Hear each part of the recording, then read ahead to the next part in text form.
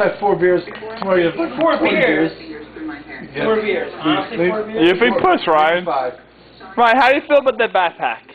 Backpack? Yeah, what are your thoughts on that?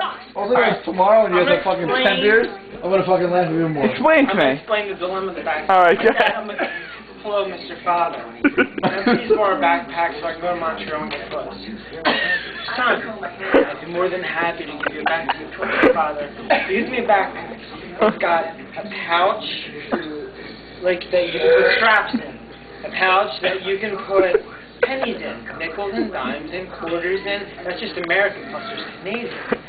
All these pouches that, okay, fine, I'll take that, I'll use this backpack, and I put shit in, and now here it is, I'm in fucking Canada, and I can't fucking find anything that I packed. Shut up and keep your shit still. I can't find a fucking thing. Uh-huh. And now it's very frustrating. As you can see on this